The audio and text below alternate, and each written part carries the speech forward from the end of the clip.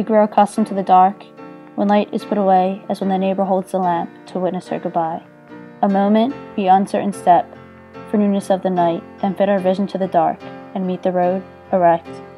And so, of larger darkness, those evenings of the brain when not a moon discloses a sign or star come out within, the bravest grope a little, and sometimes hit a tree directly in the forehead.